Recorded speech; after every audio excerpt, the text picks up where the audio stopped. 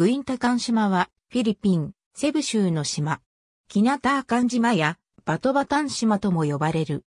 セブ島の西岸約 25km の位置にあり、バンタヤン島の北東 12km ほど、バンタヤン諸島のヒランタガン島の北東 10km の位置に存在する。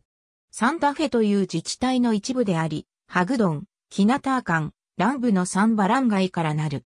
島は細長い楕円形であり、南北に 6.8km と長く、東西に 2.5km と短い。沖合には多くのサンゴ礁やモバが存在する。島の地形は丘陵が多く、東の海岸線は大きな型となっている。島の海岸は多数の林立した岩の崖からなり、その間にいくつかの平坦な砂浜が存在する。島内の植生は熱帯の植物が密生しており、島の内側には大規模集中型の農地が存在する。島内の様々な場所で多くのシンクホールが形成されている。このうち一つは2014年に現れたもので、何年か前にも他のシンクホールが現れている。2014年8月時点でこれらの原因は究明中である。